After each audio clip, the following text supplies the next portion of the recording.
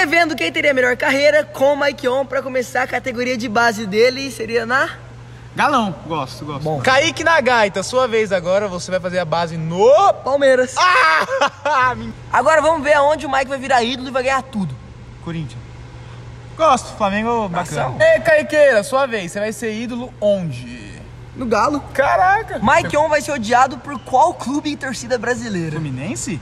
Ah, vai trair a própria torcida Mentira. dele.